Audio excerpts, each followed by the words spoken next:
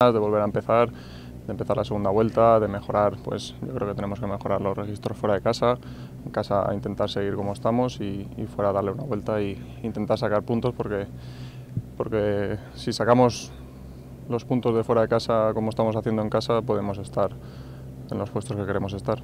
No, yo creo que el objetivo tiene que ser el que te he comentado, ¿no? el de mejorar fuera de casa.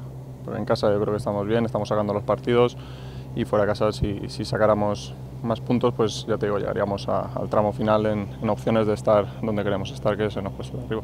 Bueno, pues, pues seguir un poco la línea, ¿no?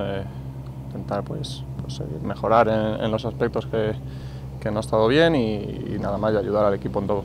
No sé, no sé, no sé, no te sabría decir, pero es verdad que, al final todos los equipos en casa son, son más fuertes, no, no, no le encuentro explicación, llevo muchos años intentas hacer lo mismo en casa que fuera de casa, pero, pero llega el partido y no sé, hay partidos que sí, hay otros que no y hay que darle una vuelta e intentar mejorar.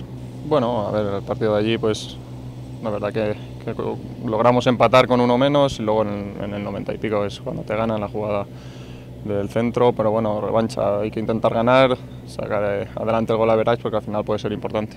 yo lo veo bien, la verdad que hemos parado ocho días, al final teníamos trabajo que nos mandaron para hacer en casa y eh, somos profesionales, todos intentamos hacer lo que nos mandan y estar en mejores condiciones porque si no luego se te va a notar. No, la verdad que, no es un, aspecto que nos tenga que incumbir a nosotros.